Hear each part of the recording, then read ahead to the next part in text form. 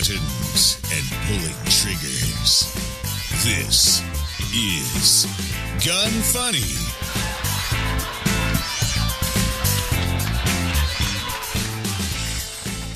Welcome to Gun Funny episode 41. Today we're going to chat with Chad and Eric from Iraq Veteran 8888, make a prank call about wheel guns, and talk about ATI Outdoors. Today's panel is Sean Heron, and I'm Ava Flanell. I'm a panel all amongst myself. Right? How y'all doing? What's up, guys?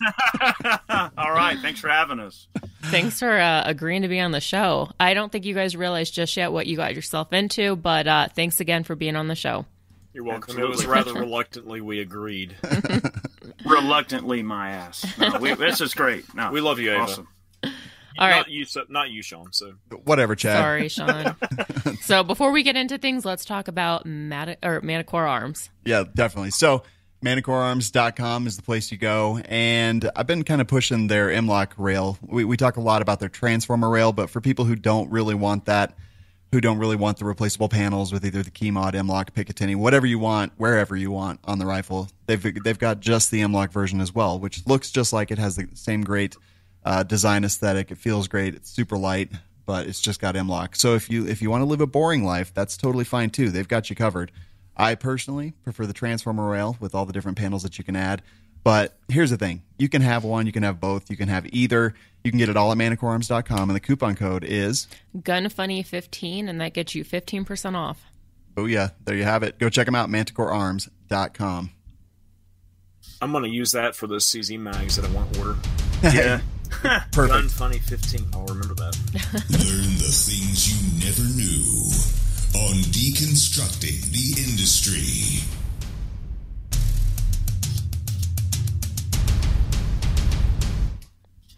All right, guys. So, first thing I want to ask you is how did you guys pick the name Iraq Veteran 8888?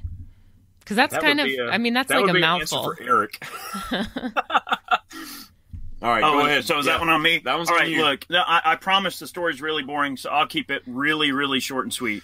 So you know, like back in the early days of the internet, when people would get like random names that they would select, it would be like skater guy six something whatever, or it'd be like I don't know, makeup girl, blah blah blah. Like it would, you know, these cheesy names that we came up with. Well, at the time, you know, I guess like going to Iraq and not, I don't know, dying was my biggest accomplishment, I suppose. At least in my in my what? How old was I? Twenty. My twenty year old mind. Yeah, I guess that was like 20, yeah. yeah. So you know, I was like, hey, well, I'll make my screen name Iraq Veteran. Then I needed to come up with some numbers. Well, at the time, and this is going to sound really, I guess, weird, but at, at the time, I was a big Dale Earnhardt Jr. fan, and his race car number is 88. So I was like, well, I'll make it Iraq Veteran 88, whatever. I, I tried to take that, it was taken. Well, then I was like, well, dang it, this isn't ever going to be anything. It's not going to matter. So I'll just make it four eights. And I just doubled up on the eights. So now every time somebody asks me that question, it's actually Dale Earnhardt Jr. trolling me. it is. Yeah, I, I'm just wondering though. Like, uh, have you ever reached out to Iraq Veteran 88 and been like, "Hey, man, can I buy your can I buy your channel or your username?" No, I mean, like if if if I could have gone, if I would have known that it was ever going to be anything, uh, I would have probably named it something different. But I mean, we don't know these things, you know. In, in life, we're we're constantly uh, surprised with things that happen, and you know, I, I didn't know Well- that the channel was going to amount to anything. And don't forget that all the conspiracy theories out there are a lot of fun. The internet comment Oh, sections yeah. on YouTube are, are quite entertaining quite a bit. It's almost like people watching at Walmart. It, it is really random. It, it's just it's it doesn't even really mean anything. It's just it's one of those silly like early internet names is what it is. Now, you just mentioned Makeup Girl. Can you tell us about that channel that you started? no, no, no, no. That wasn't none of actually that. Eric. That was me. Okay. So I, I, I just you know in my in my other life. Actually, you want to hear something That's a, funny? that's another show. So uh, Sean and I were thinking of starting a uh, a, a whole nother YouTube channel where we were going to be called Malcolm and Gertrude because that's our prank call segment, and we were going to. I Is don't know. Sean Gertrude? Yeah. Yes. Amazing. and so uh, we went to go create the YouTube channel, and it was taken. And so I'm like, well, who the hell took this? Like, who? What are the chances? And we looked them up, and it's like these two old people just making like comic videos. we have a we have a undisclosed YouTube channel that's that's kind of interesting that we just secured a while back, and maybe one day we'll do something with it. But it's called Candid You can't tell anybody. Oh, I can't. Oh, I can't tell anybody No. about So it. now Can I say people have name? to. It's, the it's name is secret. awesome. It's top secret. Oh, is it really? well, go ahead and share it. All right. So look, just I'm, I'm going to tell you the name, and you can figure out what what it might be. But it's called Candid Corpse. Uh huh. Candid corpse. So if you go on YouTube and you look it up, It's there's us. no videos, but it's it's really us. All right. Uh, Just wait. now I'm intrigued. it, it is it, it. The intention of it is to be a prank, a practical joke and prank uh, YouTube channel. But we Yeah, but got but around practical jokes and pranks it could probably get us arrested. That's and how in we feel. Very deep trouble. yeah, so it might be interesting. No, I'm pretty So- sure that this is how it ends. Like I'm going to end up in jail for my prank calls. Yeah, that it could definitely happen. I love it. So, okay, I'm sure you guys get this question all the time, but how did you get started? And before you start, I was reading a little bit on your website and it said that you guys met uh, through music. So I have to ask, did you guys like meet in band camp? No, no, no, nothing, but nothing regarding Bandcamp or anything like. Because Eric wasn't a band nerd, but I was. But uh, you know, when when we were in high school, like we were we were nerds, so like I would get to school early, like seven thirty, before my mother had to get to work because I was a car rider because I didn't ride the bus because you know bullies and all that kind of stuff, and I was just a little wimp. I didn't want to get beat up. So, anyways, we got to the band room early, and we used to hang out. There was this little storage room in the back, and we would like hang out with some buddies, and we would jam. So be like guitar, bass, and whatever else back there. This this fellow that we knew, he was an alto sax player and a, bar- a baritone sax player. I'm sorry, and we would be back there playing like jazz and blues and all kinds of crazy stuff in the morning. And Eric would get there early, and we we kind of met through that, you know. So he'd come in jam with us every now and again, and we started playing music together more. And he was, uh, you know, into guns quite a bit, and um, you know, I was kind of getting into firearms, and you know, my family had a big place to shoot. Uh, it wasn't very much at the time. My dad used to just zero deer rifles, you know, on the this pie plate. yeah, on a pie plate on a plywood board, you know, in the pasture and everything. But we got a little farm down in the town that I live in and everything, and uh, we started shooting over there quite often. And Eric brought a camera one day, and that's about it. It's just you know started filming on off days and stuff like that, and just shooting all kinds of crazy guns and hanging out and having fun. And um, it just kind of grew from there, especially after he started up at Moss and uh, know met Barry. I started doing gun gripes and firearms facts. I mean, that gun gripe, the, the first one, no one can ever forget. Shake your Shake ammo. your ammo, which in essence was sort of a prank phone call. It was kind of a prank phone call, Yeah, indeed. it But uh, it just kind of snowballed from there, and it grew, and and I wound up taking over a lot of the uh, filming and editing because I got into photography and videography and such, and um, you know, just um, trying to make it is or trying to make it kind of what it is today, and you know, somewhat of a somewhat professional looking, I suppose. I mean. You know, we, we try to be as professional as possible with it, but really just trying to put out good content for We, folks, we have to know be more professional. more professional. That's another story in itself, right there. Yeah, definitely. I mean, And But and what year was it when you guys got started? uh, you started the channel in what, like 2008? It's been almost 10 years. Almost 10 years now. Yeah. Wow. So Any plans for the 10th year anniversary? no, Mm, not really. we're, we're coming upon that, aren't we? I guess I don't know exactly what day the uh, channel met its inception. I would say it's not about the inception and when the channel started. I think when we posted the first video. Yeah, I have to research that. I'm not sure to be honest with you. We'll, Well- we'll have to blow up a car or something. yeah, maybe you guys the- should do I think something. the first video, or at least the one that's live on the channel, the first video is rapid K31 bolt work, and I'm like 60 pounds lighter yeah, you, you don't you don't go based on time anymore. You go based on weight. based on pounds. Yeah, yeah. So, so it's Exactly. like, yeah, that happened. Oh, that was about five beers ago. Well, how long? How much longer was that? Oh, about sixty pounds ago. So Yep. you just you don't worry about the time. You know, you worry about how much you weighed, how many beers you God had. Almighty. I love it. So you guys are tangentially related now, right? Uh, Tell us how that works. Well, it's not Alabama or anything like that. 'cause I didn't marry my cousin, but Eric married my cousin. I think so that's technically, technically we're we're cousins in law, if that's oh, a thing. God. so you guys could sleep together. well, right? uh, only in Arkansas. On- no, only in Alabama, but it's not very far. I mean, we could drive a couple hours and be there. Yeah, we are only like two hours from Alabama. Oh, we that's could cool. stop. I mean, hell, we could stop at the rest stop right there, and I mean, yeah, it'd be all right. It, I'm actually a little scared that it seems like you guys have put some thought into this. oh, there's no thought involved with that. it's real simple. It's just it's just called redneck. I love it. So 2008, obviously things have changed a little bit. Why don't you kind of run us through your thoughts on how was the industry when you guys started, especially for content creators, and you know, kind of how is it now uh, where you sit? Okay, um, I'll, I'll take that one. That's a good question. You know, it, it's weird. You know, early on, I think like looking back on, I guess a really good point to look at is like our first shot show. You know, you look back at Shot Show and Shot Show, especially when you're a young YouTube channel, especially when it's your first time, and especially early on when a lot of people weren't really quite understanding what was going on with the whole YouTube thing. Yeah, it can be a, it can be a weird time. You know, back then nobody knew who we were.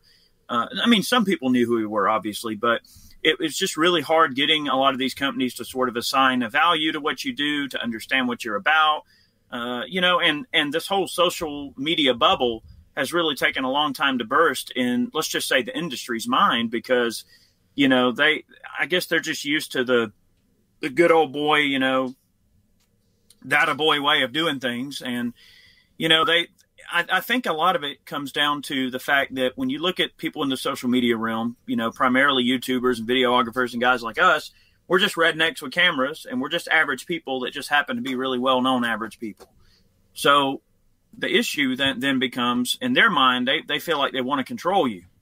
You know, they feel like, oh, well, uh, if we're going to do something for you or if we're going to work with you or if we're going to do something at all, anything related to you, we want to be able to control the message. And when you refuse that to them, a lot of them have a really hard time wrapping their minds around, you know, exactly how uh, they take people like us because you know we we're very honest sometimes brutally honest and we care very much about our viewers and we we would never try to sell them on anything that we think is a piece of crap. We would never you know lie to our viewers or be dishonest to our viewers. And some of these companies the industry in, as a whole just doesn't know how to take that brutal honesty. They're not used to it. They're used to uh, just the, the good old boy way of doing things. And i think that now, you know, fast forward to, you know, now, I think this the last shot show we attended was our fifth one.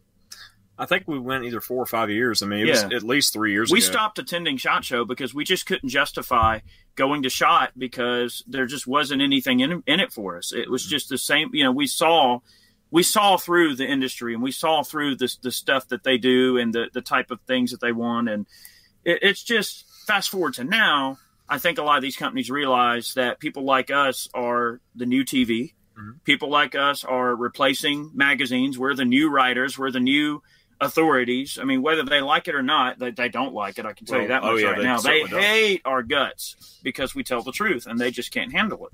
Well, they hate our guts and, because yeah. we don't have editors breathing down our necks. You know, we're not paid writers that put put an article out there, and the editor gets to decide what what happens to it you know, a company who a company who advertises with, uh, say, a gun uh, magazine or something like that, or I should say, a gun rag at this point. You know, they they'll basically come to an editor and say, "Hey, uh, we don't like this article. You need to change it."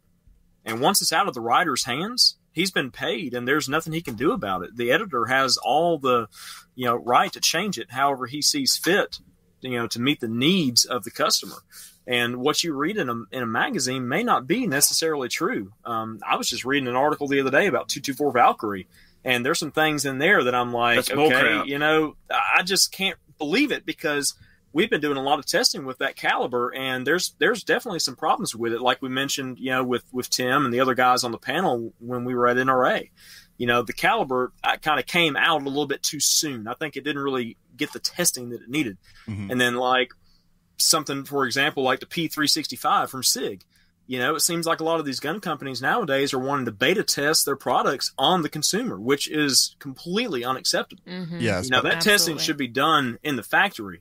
It should be done before that product ever comes to market. There shouldn't be any problems with any firearm beside the random, just very rare, you know, uh, QC issue that might might be prevalent you know but i mean you're talking like one in like a thousand units that might have something wrong right. but not like batches of parts you know mm-hmm. that that are not heat treated properly or this and the other or you know firing pins dragging on the primers and firing pins breaking after four or five hundred rounds. You're talking about firearms that people buy to defend themselves with right. and there's problems with it. That's that's unacceptable. To, to finish answering the question anyways i think the the I biggest digress. the biggest thing about it is I think fast forwarding to now, the the industry realizes that people like us have a lot of reach and we have a lot of respect, and that people understand that we're just average folks that want uh, them to have access to the information that they deserve and, and in a way that they mm. want to see it. And I think that the, a lot of them are really intimidated by that. They don't really know how to well, take people like us. They're intimidated by our independence and you know, we don't have bosses, we don't have editors, like I was saying. You know, I mean, we're our own people. You know, we we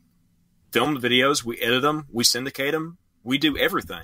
Right. We don't have any bosses telling us what to do. They're and, afraid of that for sure. You know, they're definitely afraid of the honesty for sure. And, you know, but it's better for the consumer and the viewer down the line, you know, mm-hmm. for sure, because right. they're actually getting the truth instead of what is just digested in a, in a gun rag Correct. Know, nowadays. So, Totally. Anyways, how do you guys hopefully, find your content? Yeah, hopefully that answers the question. It does. Uh-huh, absolutely. So, how do you guys decide on what you're going to make videos of? What's your con? Like, how do you decide the content?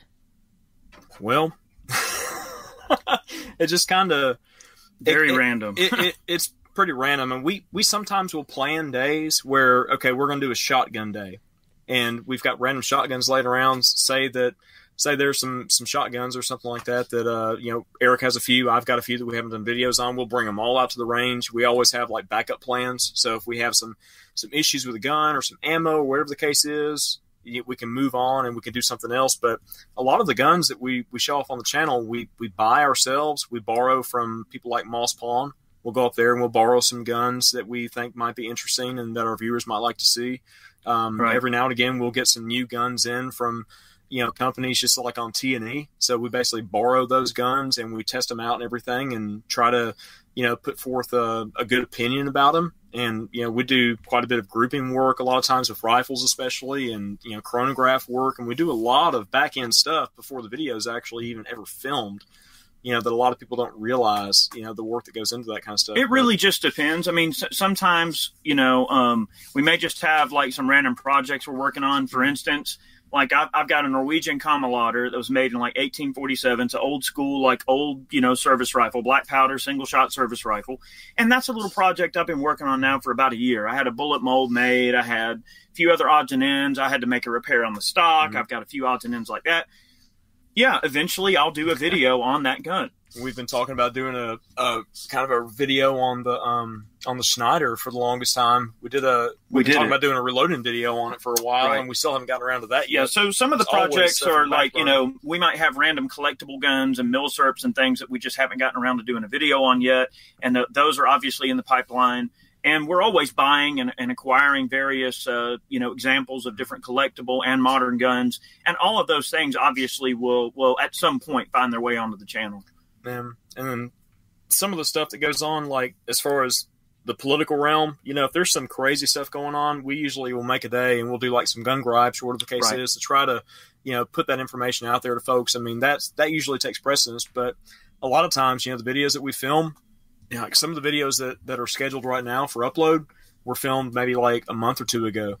So, right. you know, we, we usually stay pretty far ahead of the curve as far as that goes. But, you know, some of the current uh, current affairs stuff, you know, we usually try to get it out pretty quick. And, yeah, we uh, can we can make a little that. change to the mm-hmm. schedule and get something out sooner and later if we have to, and it doesn't really follow any rhyme or reason. It just kind of goes at our whim, and you know, it's it's really random the way that we upload content and meltdowns. I mean, with that sort of stuff, sometimes it'll be as simple as you know, I might get a call from a company and they're like, "Hey, we're traveling through Georgia on blah blah blah mm-hmm. date." And hey, uh, you want to do a meltdown on our blah blah blah? I'd be like, well, sure. I'm not going to turn down a chance to melt down a gun. So, right. you know, a lot of t- a lot of times, if they're just passing through and they're and they're traveling with machine guns, they'll be like, hey, we brought an extra upper. You want to kill this gun? Sure. And bring it over and we'll do a meltdown and that sort of thing. Doing, I mean, basically, like being in the situation that we're in allows us a lot of flexibility with the schedule, so we can arrange that kind of stuff and not really have to worry about it too much. So right. that's one of the big benefits of it. So um, basically, the answer is it's very, very random you guys have been making the meltdown videos for quite a while, and there's some of your more popular videos. You got four years ago, three years ago, two years ago. They're in the top five. But your absolute most popular video you've ever done is the range test of the ultimate AR-15 Mall Ninja Tactical Zombie Destroyer. yeah, that was that was a really random thing. Like I wasn't even prepared for that video. We just sort of said, you know what? I went through the trouble loading up all these mags. I don't know what we're gonna do. Let's just do something stupid and silly, and there it was. So, well, I think you and Barry were talking at the shop one day, about just putting everything you could onto an AR-15. I think that we're going to revisit that concept, How and we're going to go further down the rabbit hole. How much did that thing weigh after it was in like 30 pounds? Yeah, it was like thirty pounds. That's so ridiculous.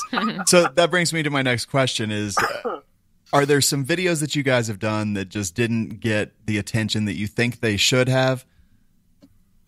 it, it's funny. Like sometimes we'll have a, a video idea in mind, and we'll think, "Oh man, this thing's going to get a ton of views or whatever," and it just like flops. But then Yep. the videos that we just do randomly and just we don't even think anything about it, we just put them up because we wanted to. Yeah. They're the ones that go crazy. Here's here's a really random. It's it's very Th- ironic. this this is a random thing that that sort of coincides with what he said. So when we did the "What is a brush gun" video, Mhm. Chad was Chad was like, "This is the stupidest idea ever. Like, I don't. What are we doing here? Like, he didn't understand what we were getting at here and what we were doing, and he didn't think it was going to do anything. And our first brush gun video got over a million views. Mhm. So anytime you break a million is always a good thing. Now, yeah, you know, one thing I will say about videos underperforming is sometimes it's weird. They'll hit a bit of a stride. Like, like for instance, okay, really good example. Modern times, like it's just last week when we posted the recent meltdown on the AK-74. It's only gotten like not even hundred thousand views yet, which for us, you know, a, an average video should hit a hundred thousand within a month, well, the meltdowns, but the meltdowns should hit a million. yeah, the meltdowns, like most of the ones we post, usually within a couple of days, they're up to 100k.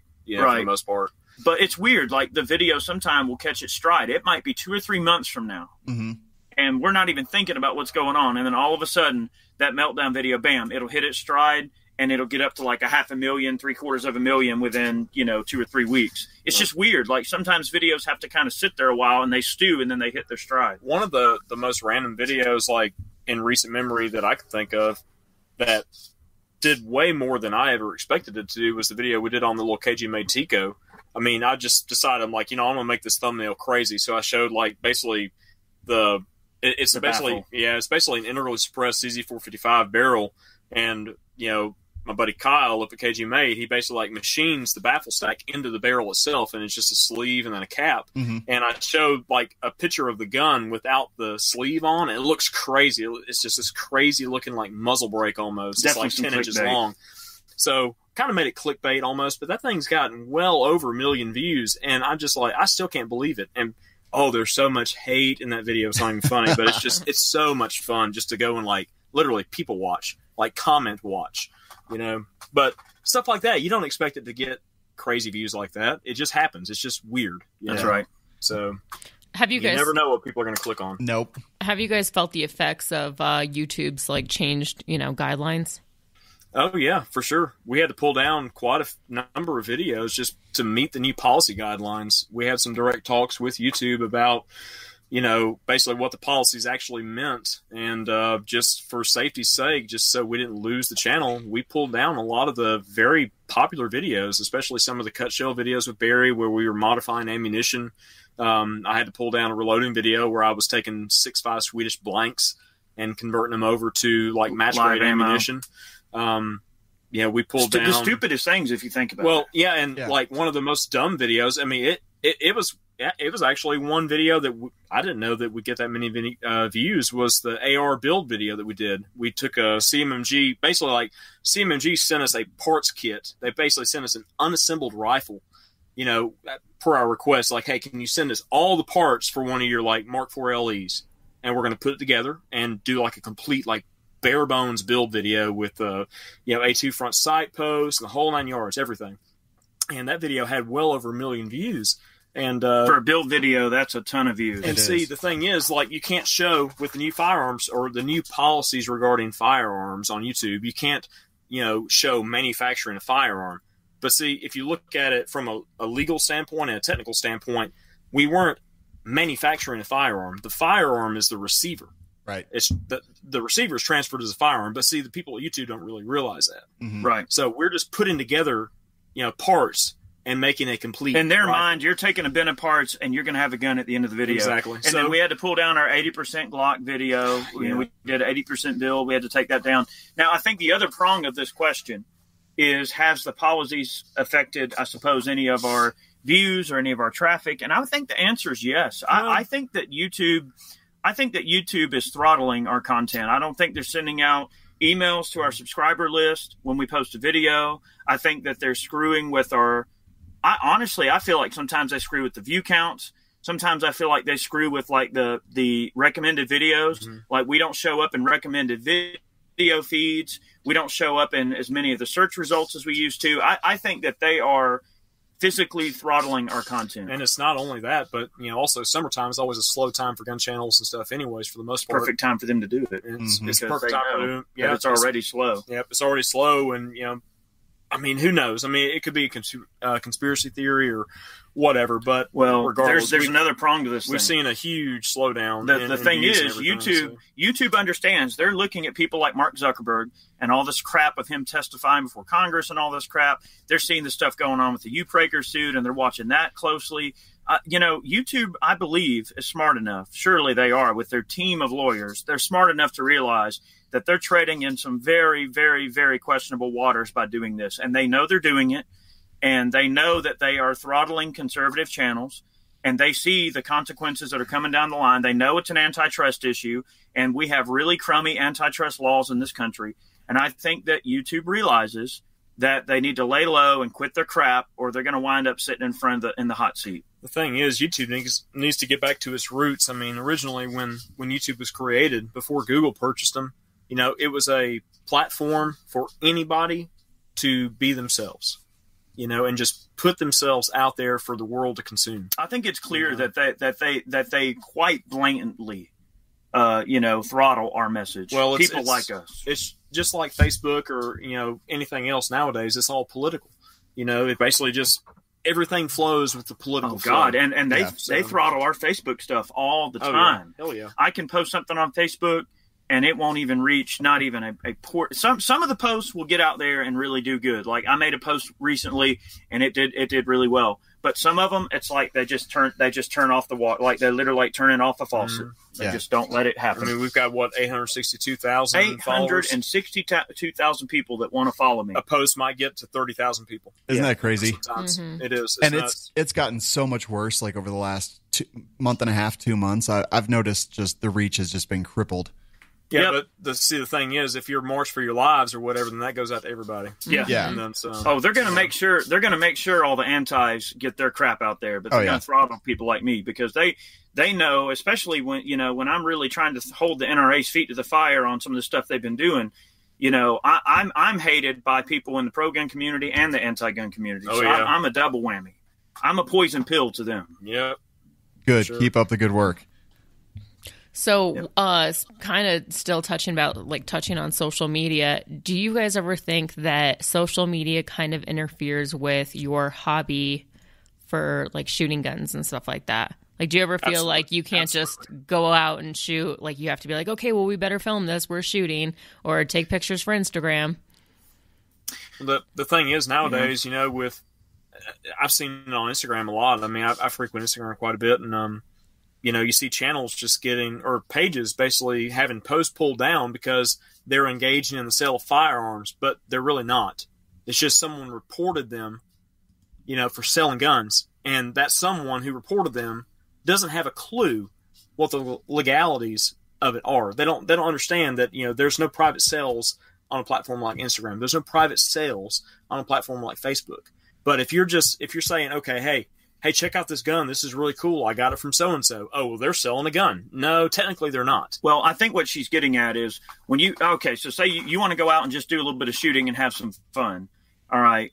Do you do you feel like now you can't even go out and shoot a gun without feeling like you have to take some photo or you have to film something? Oh well, You know what I mean? Do you do? It, it, I think she's asking more like recreational shooting, Oh, and the shoot. answer is no. Um, I'll go out in my yard. I'll shoot twenty twos. Uh, I'll shoot handguns. I'll shoot shotguns. I don't always have to feel like I'm I'm obligated to film something just because we're out shooting. And yeah, like Chad said, when we're out doing data collection, yeah, uh, you know, we might have a B-roll camera while we're shooting groups, or we might have a B-roll camera running just so we're you know collecting chronograph data. But that's just so we can plug a little bit of that footage into the main video when we actually do get to do it. So we do have days where we go out and group guns. We collect chronograph work. Sometimes we go out and shoot for fun. But yeah, there is that kind of tickle in the back of your mind where you're thinking, you know, yeah, if we're going to go out and shoot, dang it, we need to make a video. It- it- Yeah. you know, I would say that now as a shooter, I would say at least, not, I'd say 85% of every round I fire is on camera. Yeah, you're right. Like I, I probably misunderstood that, but Yeah. like when we've gone, uh, we've got a buddy of ours, you know, Kurt over at Blue Alpha Gear. He does these little range days every now and again down in a buddy's uh, place um, down in the Newnan area, Nice. and um, you know we'll get over there and stuff, and we'll be shooting all kinds of crazy guns. It was like, okay, we need to film something for Facebook, right. Yeah. like just Yeah, for the yeah. hell of it. you there, know? there is there is that sort of thing in the back of your mind where you're like, hey, I want to film something, and like, you know, and I I I manage the Facebook channel or the Facebook page, so yeah, I'm always thinking, all right, I need content. So if Mhm. Chad's Chad's filming a section where he's talking, and I'm taking a picture of him filming himself. And then I put that picture on Facebook. So yeah, there is a little bit of that in the back of your mind. And I, I, I do a, lot, a good bit of hunting, and I do a good bit of shooting and plinking in the yard. But a lot of rounds that get logged, we're generally filming. Mhm. To answer your question, Totally. Indeed. I love it. All right, so I mean, you guys do a lot of other stuff as well. Uh, so you guys have your man can program, um, which is actually pretty cool. I want you to tell us a little bit about that. But then after you tell us about man cans, I'd like you to tell us uh, a little bit about maybe a music related channel that you guys are are kind of doing, working on, whatever. sure. Uh, well, man cans kind of started as a joke. All right, and and I'm not going to spend a lot of time talking about this because I don't want to sound like Billy Mays on here, and your your people are probably thinking, all right, get it over with. But but basically, man cans kind of started just as a joke, and we're like, hey, we're going to put together these little boxes that you can give like the gun lover in your life as like a gift or whatever, mm-hmm. and it turned out to be a really kind of popular idea. And, and it's basically, you know, my wife was getting all these like Birchbox and Loot Crate and all these lady cans and all these nerd cans, and I'm thinking, well, why don't we do a guy can? Well, you know, and it seemed like such a cool idea to do a guy box. So we started doing them, and that idea really resonated with our fans a lot Well, because remember- it's, it was something they wanted to do to help support the channel. And when they buy a can, they're they're sending funds in that support the channel. They're getting a cool mystery box, and it was kind of a cool idea. Well, remember know? too, the the idea kind of was stagnant for about a year. We did a video, I think, like in Christmas of 2013 or 2014 at Moss, where were you talking about like Christmas gift ideas for shooters. yeah, and, And we, we- basically we- laid out the whole Yeah, idea. we put together like literally an ammo ammo can with a bunch of stuff in it. It was like, hey, it's a man can, you know. And we just kind of thought about it over the course of the next year, and around Christmas that following year, yeah, we're whether- like, we'll sell these. it's like, hey, you know, so Brandy, Brandy was very instrumental in putting this together. You know, talking to a bunch of the folks that we work with. You know, we had like shoot steel targets. We had stuff from like Vista and Federal in there. I mean, all kinds of random yeah. stuff. I mean, it was like hundred dollars worth of stuff for you know like thirty bucks whatever the case was.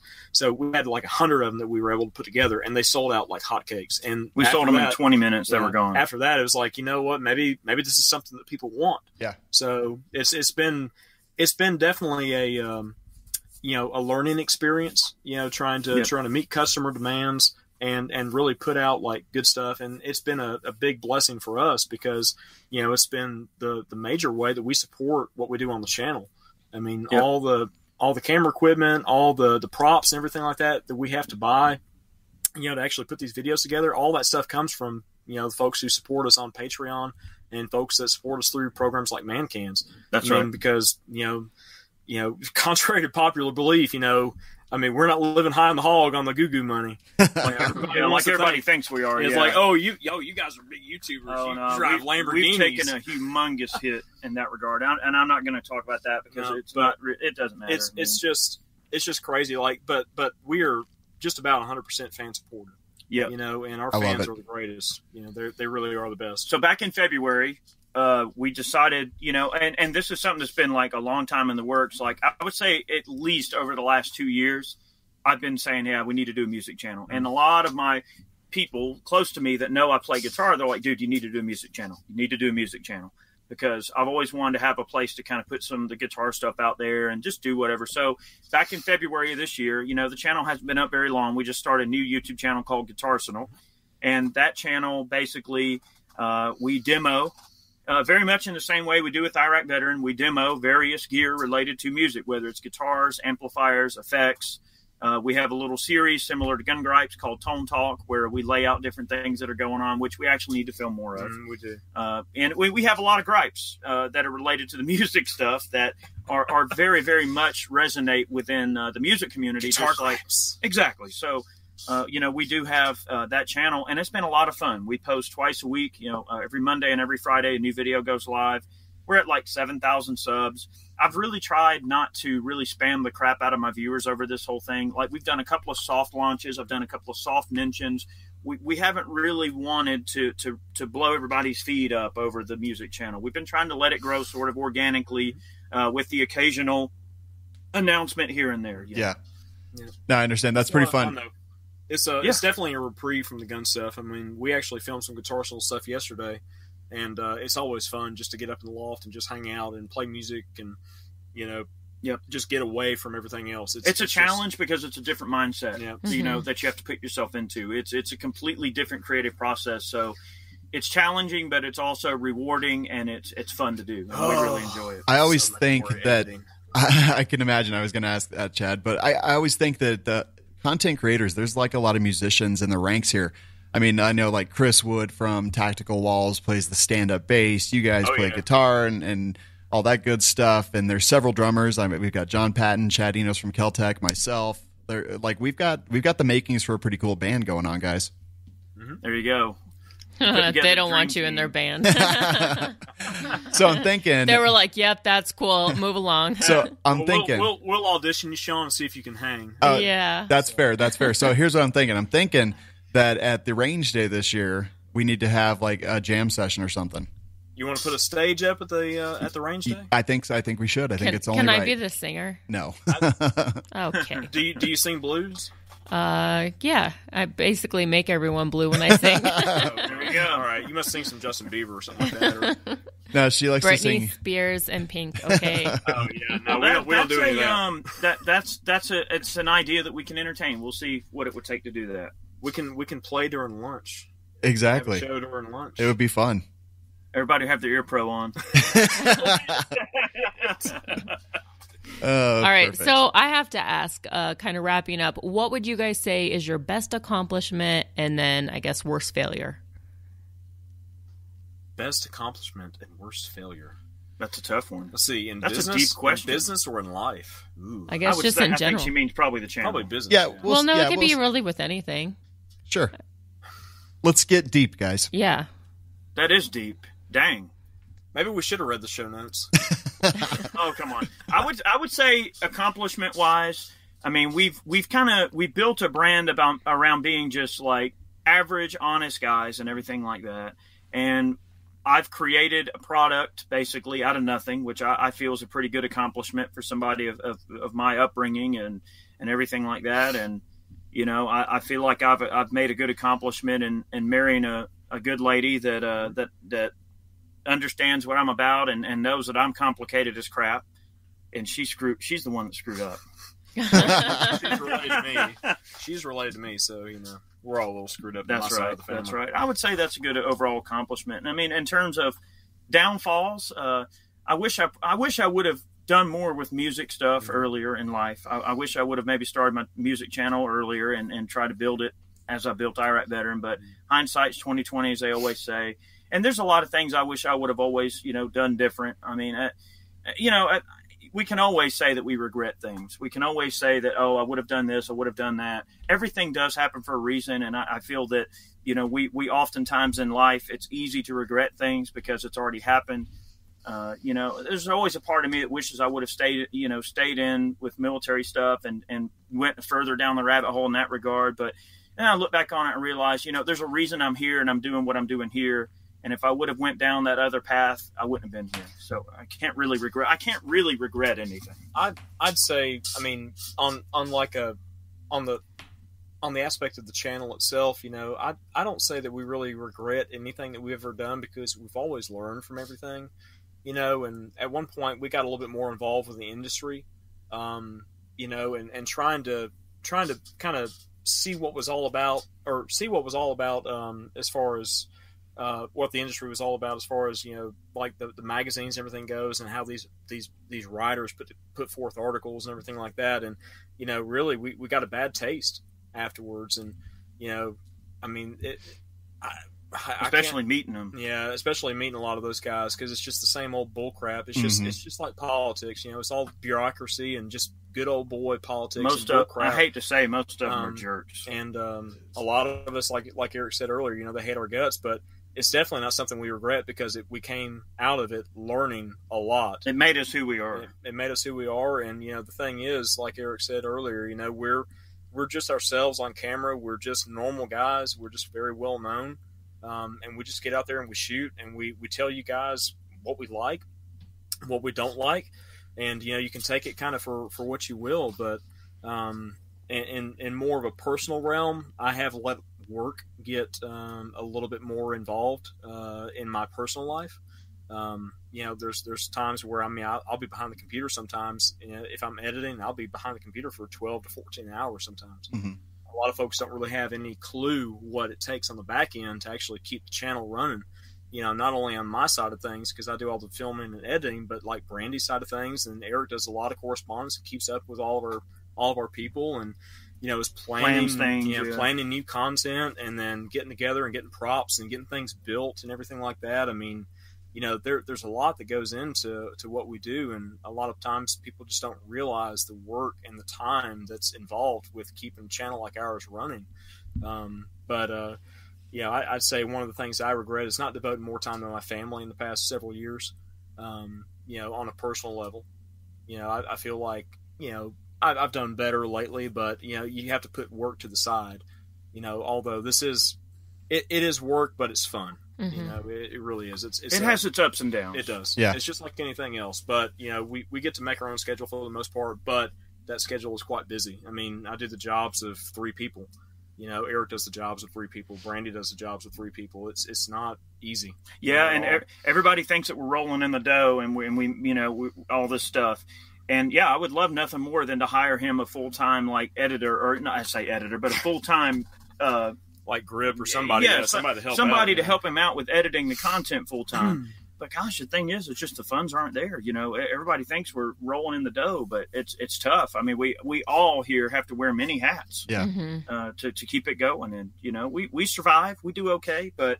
Uh, you know, there are there are times where we wish we could clone ourselves for sure. For Mhm. sure. Definitely. All right. Well, um, where can our listeners find you? Oh, all over the internet. Okay, All- all Mr. over. Humble Go brag. To, uh, If- if go you- to YouTube uh, forward slash Iraq Veteran 8888. Uh, obviously, we're on YouTube. We're also on Facebook, uh, Iraq Veteran 8888 official on Facebook. Also, Mrs. Iraq Veteran All right, so 8888 on So Instagram. on Instagram, you've got Mrs. Iraq Veteran 8888. You've Right. got me, Chad underscore IV 8888. Eric has an official channel now on Instagram. I saw that. so that's Iraq Veteran so we, we are on the underscore Nastygram now. We Yeah. are on the We are. Nastygram. And then you can also find Guitar Arsenal over on Mhm. YouTube. Just go to YouTube, type in Guitar Arsenal. We'll pull our ugly mug. And up. even even more simple channel. than any of that, if you just go on Google and you type Mosin Nagant, the entire first page will be nothing but our content. nice. I can guarantee it. That's amazing. Who, who who's running the official uh, IV8888 Instagram page? Well, it's, it's supposed to be him, but Brandy and I are both logged into it, so Okay. I was like, one of you guys liked my post the other day. Keep that shit up. All it right. wasn't me. It must have been Brandy. Because I don't like you, Sean. Damn it, Chad. I thought we were close. I thought we were tight.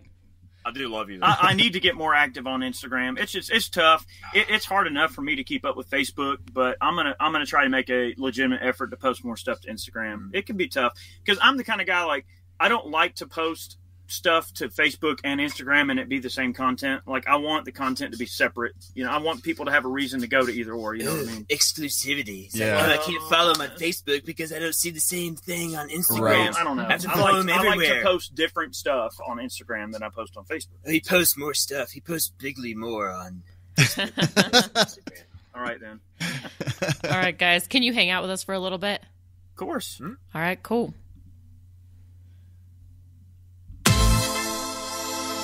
All right, real quick, we have to give a shout out to Matador Arms, uh, our Canadian friends to the to the what is it north, the the cold white frosty north of Canada.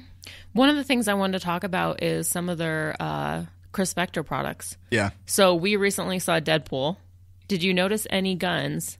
I did. I noticed lots of guns. Uh huh. Like like well like what was one of them? Uh, a Kriss Vector. Uh huh. Yep. uh, it- which is funny because that guy, uh, who's the the guy that had the Kriss Vector? What's his name? I'm not like really. Who was to- it? Cable or Yeah, Cable. Yeah. Uh, so I noticed that he had like every accessory. I think it had like a 50 cal barrel and uh, all these different like accessories. It was and- ridiculous. I- it was crazy. Uh, but anyway, so one of the things that would have been kind of cool though is if they had the folding aluminum vector adapter. Yeah. So I actually know the guy that designed these and licensed them to Matador Arms. He's a good guy, and uh, I actually have one of these in the closet. It just doesn't fit my vector, so I need to. I got. I guess I got to get another vector just so I can use that part. I mean, Because it only fits the the uh, newer models, correct? I believe so. Yeah, yeah. Yeah, The the, older, ones. yeah, the older ones it will not fit.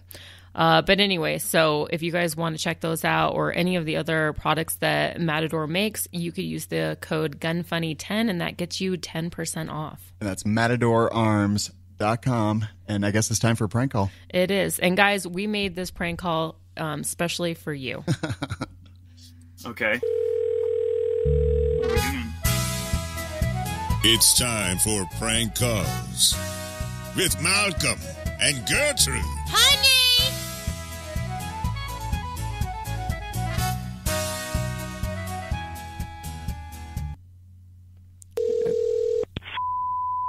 How may I help you? Uh, hi there. This is uh, one of them indoor shooting ranges. Yes. Hi, my, my name is Kenny. I was just wondering. So you allowed the wheel guns in there, right? What do you mean? Like like wheel guns. Wheel guns? Wheel guns. What is that? Well, uh, do you do you allow the wheel guns in the range? Shoot guns? I don't know what you're saying. Wh- What kind of guns do you allow in the range? Every gun. E- every single gun? Yes, just no steel core, steel casing ammo. Okay, so you do allow the wheel guns then. Uh, yes, whatever that word is you're saying. Wheel. What's a wheel? wheel guns and a range. Yes. So none of them pretend guns. It's the wheel guns. Yes. All right, that sounds good. Thank you very much. so that guy was a little rude. Like he had just no fucks given. he was kind of a dick, and I loved it. Usually they're a lot nicer than that. But it was Now you know funny. if, if, if you dish it out, you got to be able to take it too. yes. the real guns, y'all y'all y'all get them real guns in that range. Well, yeah, yeah, we got the real guns. I'm like, don't make fun of my speech impediment, mean guy. See, when when you were doing the show earlier, I thought that we were doing a prank call. I thought that would be a lot of fun. D- uh, Dude, you guys like to make a prank call? yeah. That would be amazing. Yeah, we Actually, you know who we wanted to prank call was uh, your friends over at uh, Forge from Freedom, but we looked and there was no number. why don't you call Moss Pawn? Can you do that now? Yeah, Sure. let's do it. Yeah, call him. All right, just give us And a are, second. are you guys going to prank him or are we? Yeah, Oh, yeah. yeah, yeah, Yeah. yeah. All right, yeah, we got this. All right, so while she gets that ready, um, yeah, so we've we've made a couple calls with that character, uh, that with the wheel gun thing. Uh, all right, so What's the. let me uh, let me look it up right here, so we don't say their number over the broadcast. That's fine. Go ahead. I mean, it is a company. I, they I could. could pass the Seven seven number. zero. I think it's what is it? Seven seven zero. Let look it up. Look it up. Heck, I don't remember the number. off the What top is of my head. what is the It's- number? They're probably going to hang up on us. Everything's okay. on speed dial nowadays. I know. I'll, I'll handle the first one, and we'll keep calling them back. They'll love it. All right, seven seven zero nine six eight Four nine four nine. four nine four nine. Yeah. Four nine four nine. Get your dyslexia. All right, in seven order, seven Sean. zero nine six eight four nine four nine. All right, this is uh, we've never done this before, so we'll see how this goes. Uh, right, let's we actually Let's did make a prank call on air when we first started, and we realized really quickly that was a really bad idea. Because no one answered the phone. uh, no, somebody Well, answered we the phone. We can try. Oh, someone will answer. All right, cool. So she's going to call, and uh, we'll be quiet while you guys take it away, and then we'll hang up at some point. Eric, Eric can go first, and then we'll call again. Okay, perfect. All right, Why Oh, not? Yeah. here we go. Yeah. yeah.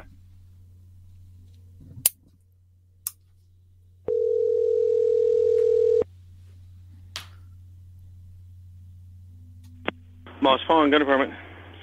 Hey, how you doing in there? I'm super. How are you? You got a gun with one of them pistol grips on it? I do.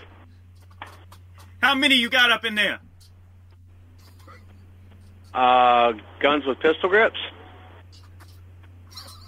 or yeah. just guns in general. pistol- the pistol grip.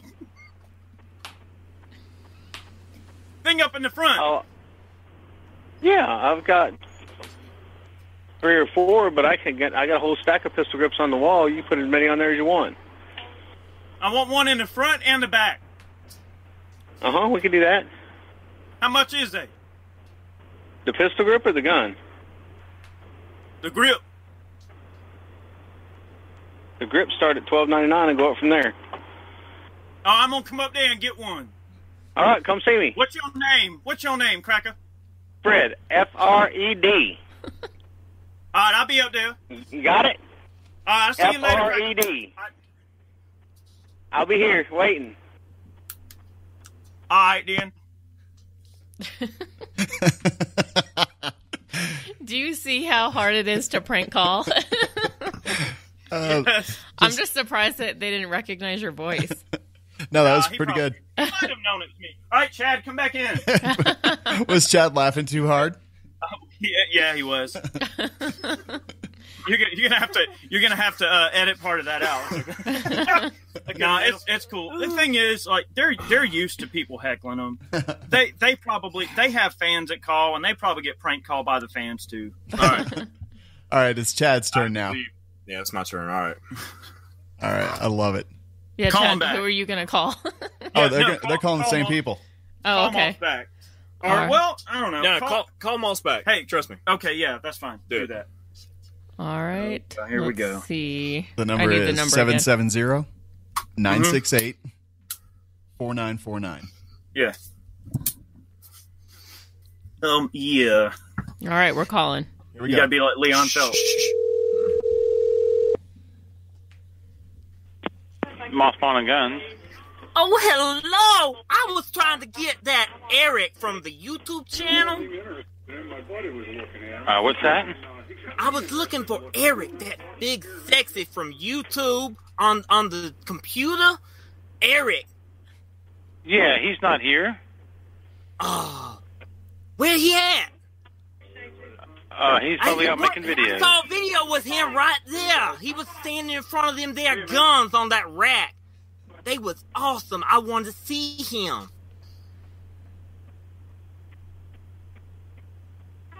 Yeah, he's not here. Well, there's that other boy, uh, Kevin. Is Kevin there? That big guy really with the kill myself. glasses. He does all them. He does them old guns. You know, with that smoky powder. You know, it, it's like it's like he he has to put it in the barrel, and then he shoots it, and it's a big puff of white. I know all about the puffs of white now. But I is Kevin there? I just want to talk to somebody from YouTube because I told my sister that I would talk to them and I'd be famous. They hung up on us. That was pretty good. that was awesome. That's bad. Did you hear him? He's like, I'm going to kill Uh-huh. myself. you said that. oh, shit. All right, there you go. There's Uh, your, Is Kevin there? Oh, goodness gracious. Does he have a fish sandwich? Oh, I could use a fish sandwich right now. the la- ooh, it's a lady. Ooh, it's a lady. Leon Phelps. Oh, man. That was fantastic. Great job, guys. Yeah, good job. You're hired. You're hi- Yeah, you guys can take the prank calls because they really stress us out. Well, we can prank some people now. I love it. All right. So one of the things that I wanted to talk about uh, was some gear. Let's see here. Tacti Talk. Discussing popular guns and gear. Love it? Hate it? Find out now. All right. So I will say that today is the first day that I'm doing audio, and I just learned how to do it about five minutes before the show started. So if you guys are questioning why everything is screwed up, well, it's because I'm learning. So. You're doing great. Uh, yeah, thanks. All right. So one of the things I wanted to talk about was uh, ATI Outdoors, and uh, they are. Um, I, I don't know how long they've actually been around. I've only heard of them within the last year. ATI's been around for a bit. They've been making some products. They've really expanded their product line uh, over the last few years, I guess. So maybe that's why they're only now just starting to. Um, I've I saw them at Shot Show last year. Um, but anyway, so one of the things I wanted to talk about, uh, I received some of their products, and uh, one of one of the products was a handguard, and I gotta say, it's actually a pretty nice handguard. I haven't used it yet. Um, but I am putting it. I put it on a uh, a current build that I have, and I'm also going to use one on a AR pistol that I'm currently uh, building, and uh, the quality and the price are are pretty great. So for like a 15 inch, you can get one for 130. 12 inch is 120, 119.99, and then they are going to be coming out with the 7 inch here shortly. And I don't know what the MSRP of that is. I like these. They are inexpensive. I looked. The fit and finish seem to be uh, really well done. Not a lot of machine or tool marks on it. Uh, and the price, man, like kind of a lot cheaper than a lot of other uh, options that are out there. So 130 bucks for a 15 inch. It is free floated. Uh, the the mechanism to attach it to the barrel nut seems well thought out and seems to work just fine. And yeah, I, I think ATI is doing a lot of good stuff, and they're kind of getting more involved in social media and things like that, which is why I think we're seeing a little bit more from them lately. Mm-hmm. And yeah, have you have you guys shot any uh, ATI products or used any ATI products on your guns? Us? Yeah, Absolutely. Oh yeah, many many over the years. I had a Taurus Judge that had one of their uh, you know their grips on it. yeah. You know, it really really really helps with recoil mitigation, everything like that. I've messed around with their M4 stock set that they have for the Benelli M4. Uh, we've done some stuff with their SKS stocks, their Mauser stocks. Um, I've installed several of their Mosin stocks on various actions for customers up at Moss when I was still up there. And uh, for the money, they make an excellent product. Yeah, that's what I was thinking. Is that it, it's definitely affordable. Um, how Yeah. is it? How is it held up for you guys? wonderful. In fact, I, I built a Mosin Sporter for a customer. We did some custom Duracoat work on it and everything like that, and we installed a scope mount. Uh, we I think we wound up running the rock solid scope mount, and we ran their bent bolt handle kit, uh, ATI's bent bolt handle kit, which is bolt on, and then we ran their stock. And I floated. Uh, in fact, I think I still have a video on how to float the the channel on the barrel on those uh, on the ATI stocks to Well, get in there with the rasp and I, open it I up. think it's involved in the video itself, like the install Right. video, because we did a complete install video. We have time. an install video on that Mosin stock, and uh, very good accuracy that we were getting out of it, and it, it really helps with lightweight. And uh, you know, for the money, they're great little stocks. They work just fine. Very nice. Yeah. And if you guys want to check out their products, you can go to atioutdoors.com. All right, uh, let's get into some iTunes, iTunes reviews. Yeah. All right, Chad or Chad. All right, Sean, you know the drill. I was like, okay, let me go ahead and go ahead and read these them down reviews. You just get them reviews together, boy. You just get them together right now. I'm gonna do them for Chad. I'm gonna do them like Chad. Ooh, thank you so much. Sean Cooper 401 says five stars in the name. Well, the name says it all. It's a gun show that is funny. Host seems like a very down to earth lady that's very knowledgeable. I'll thank you. All right, thanks a Unless they're thank talking you about so you. much. Oh, goodness gracious, I'm just so flattered. Jimbo is dead says five stars. What a treat! It's really great to see a podcast geared towards celebrating women in the gun world. Eva is great and really tries to put up with Sean's cake addiction. Sean does some okay voices. Who is this Ava? Eva. I don't know who the Eva is, but she sounds very intelligent to me. I don't know about all that. oh, thanks. All right. Um, wrapping up. Yeah, it's time to it's time to kill this hog. Uh, so let's see. So, guys, um, if you can't get enough of us, you could, you know, find us, go to gunfunny.com. We're on all of the social media. And uh, if that's not enough, maybe consider becoming a Patreon. Uh, your pledge gets access to our Facebook only Patreon page, which we're always having fun on there. Uh, sometimes we talk about gun related stuff, other times it's, you know, about. Uh, painting, dieting, makeup, all kinds of stuff. There's uh, there's no restrictions as to what you can talk about on that page. Definitely. Oh, one of the things that I want to say, um, thank you to our $25 Patreons, Corbin Bonafide and Adam Balzer from Charger Arms. Yep. Thanks, guys. And then our king of the Patreons is still Cooper Custom Kydex, although I did have somebody recently ask about how to become a king of the Patreon. So I don't know. I'm not sure how long Cooper Custom Kydex is going to be king of the Patreon, but until then, he would like us to say always affordable options, always quality made. Use coupon code GunFunny2018 for two for 15% off. Yeah, and here's And- the thing: for people who want to know to become king of the Patreons, just go to patreon.com slash gunfunny and look and see whoever the the top dollar Patreon is, and just beat their beat their Patreon, and that's pretty much it. Just bid like however much more you want. Mm-hmm. I say beat them by double, but you only really have to beat them by a dollar. yeah. All right. Uh, and guys, thanks again for joining us, Chad and Eric. And uh, yeah, I uh, you already said where we could find you. What's what do you guys uh, have in mind for the future?